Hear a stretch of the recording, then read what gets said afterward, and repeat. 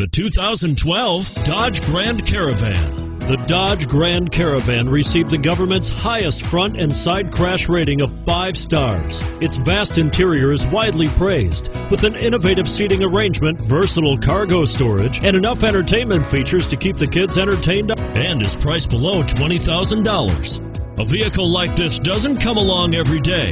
Come in and get it before someone else does.